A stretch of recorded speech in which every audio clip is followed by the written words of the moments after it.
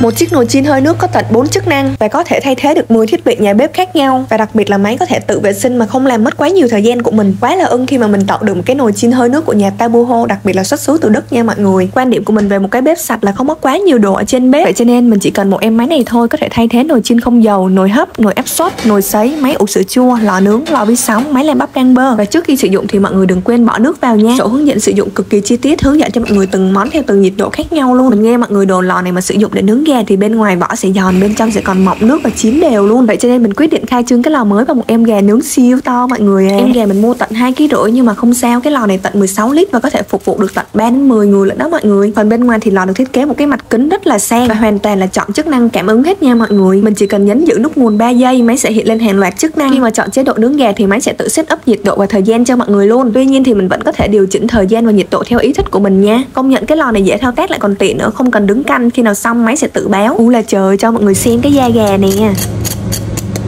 Da gà được nướng vàng đều luôn chứng tỏ là cái lò này tỏa nhiệt khá là đều, Mình không cần phải lật mặt trong khi nướng. Cho ra một cái thành quả vỏ giòn, thịt chín đều bên trong vẫn còn mềm. Quan trọng là thịt không bị khô thì cái nồi này xứng đáng 100 điểm chưa mọi người ơi? Khoan nồi với chất liệu inox 304 cao cấp thì mọi người yên tâm là an toàn cho sức khỏe nha. Sau khi nướng gà xong thì mình thử ngay tính năng hầm bí đỏ với thịt xay Và cho ra một cái thành quả không thể thuyết phục hơn nữa luôn. Tóm lại là đầu tư một em máy này quá là xứng đáng với giá tiền. Mình không phải mua nhiều loại máy móc cùng kềnh Vừa tiết kiệm thời gian lại còn vừa tiết kiệm không gian nữa. Mọi người nên cân nhắc tậu ngay một em máy này về sử dụng cho gia đình mình nha.